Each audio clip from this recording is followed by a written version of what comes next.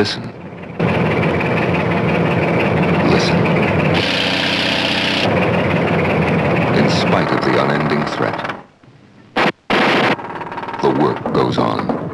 To build, to welcome all who come seeking a new home and peace. We hear you, Israel.